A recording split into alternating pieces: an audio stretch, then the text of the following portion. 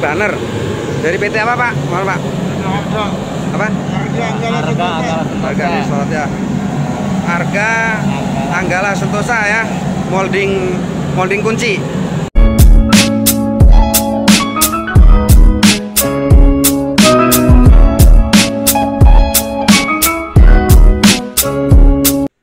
Assalamualaikum warahmatullahi wabarakatuh. Sahabat-sahabatku, youtuber seluruh Indonesia dan pelaku industri Di mana pun berada, pada kesempatan kali ini saya akan coba menganalisa kerusakan burner R40 G10 merek Rilo Made in Italy. Kebetulan burner ini uh, baru datang dari Medan ya pelanggan kami yang di Medan.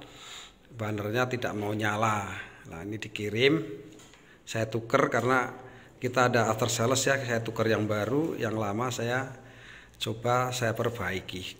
Setelah pertama pertama-tama saya harus cek itu adalah control box. Control boxnya ini PCB nya ada yang gosong nggak?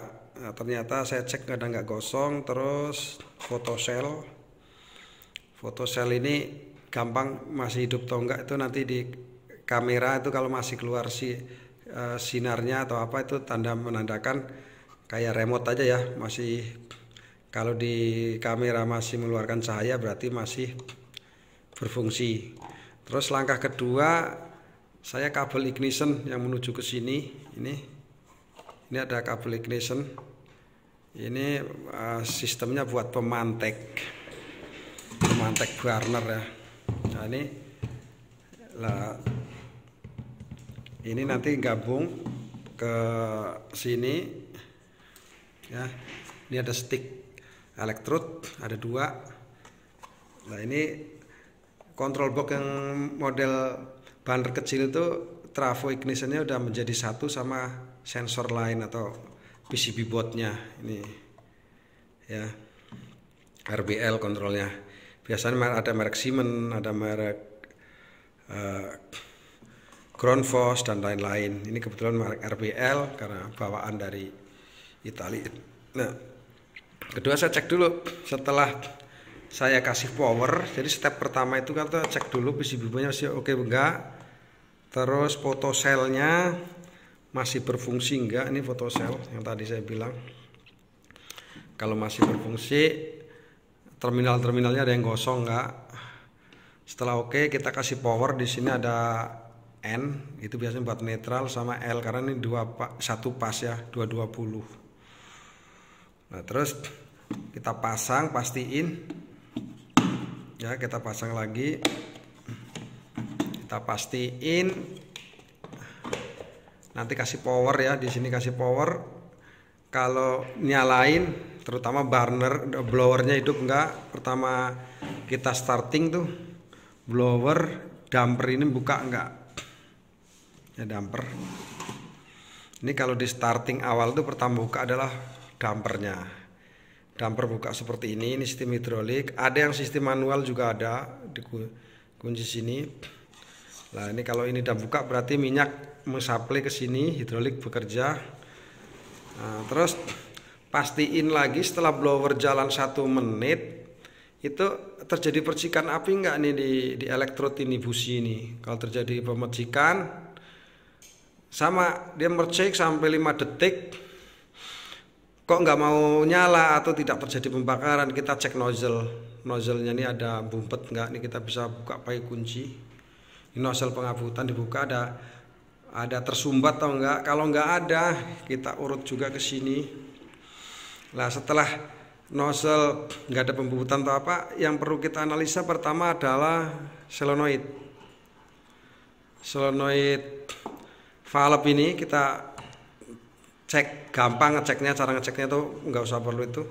Jadi burner nyalain, setelah blower muter sekian satu menit, terus ignition pemantek mercek dalam hitungan 5 detik ini pasti akan bunyi tek lah itu sistemnya nih NONC normal open normal close jadi kalau ada perintah untuk open ini ada indik, uh, induksi jadi terjadi magnet di sini.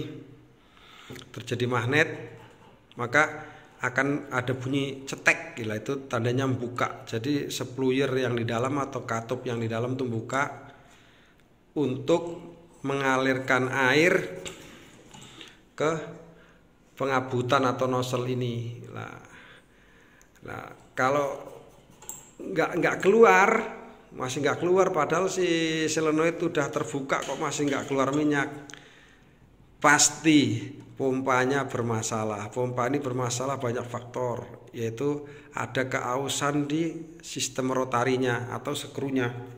Ini aus, aus itu disebabkan oleh minyaknya yang nggak bagus atau kotor. Ya udah kalau udah udah pompanya udah rusak mau nggak mau harus diganti. Kalau diganti masih nggak mau nyala juga, itu biasanya pengabutan udah bagus, ternyata baru jalan sekitar setengah menit atau 10 detik kok mati. Berarti fotosel yang tadi ini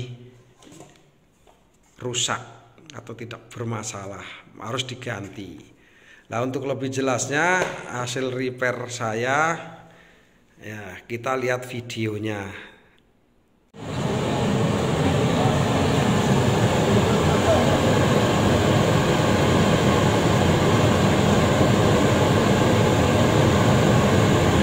servis banner dari PT apa Pak? Mohon Pak. Apa? Harga Harga nih surat ya. Harga Anggala Sentosa ya. Molding molding kunci. Oke. Ya, jadi itu Pak kalau udah nyala 5 menit tuh mati, ya udah itu yang tadi fotosel itu harus dibersihin. Harus dibersihin ya Bapak harus spare ya. Nah, gitu aja. Ya udah. Harganya 950 satu. Satu. Spare lah ada dua lah nggak apa-apa ya pak ya spare ada dua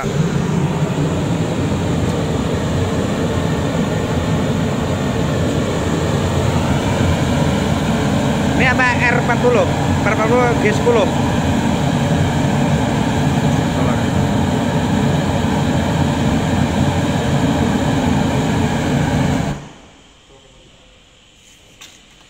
nah ini tes berkali-kali nih ini kayaknya inteknya udah maksimal bukanya. Oke oke. Oh alah, mana? Kendor ini sampai kendor. Oh, oke oke oke oke. Jadi ini pompanya tadi kendor ya? Ini. Sini.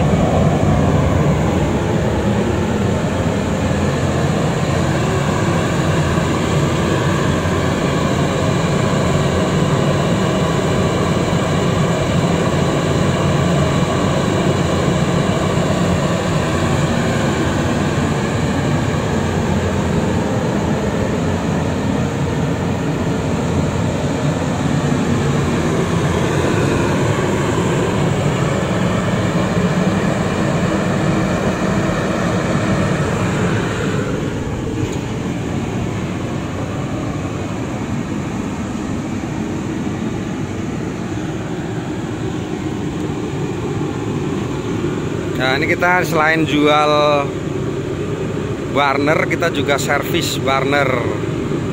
Jadi jangan khawatir kalau beli burner ke PT Indra Dwi Mitra kita siap melayani servisnya juga sama seperempatnya. Nah ini kendalanya tadi pas nyala pertama sekitar hitungan 5 detik bandernya mati itu biasanya kendalanya di photocell ya karena photocelnya kotor atau flame sensornya kotor jadi jangan khawatir user atau sahabat-sahabat youtuber kalau membeli burner kok tiba-tiba dinyalain 5 detik udah nyala kok mati. Itu karena flame sensornya kotor. Karena ini bahan bakarnya solar. Gitu. Kalau di gas ada tambahan pressure switch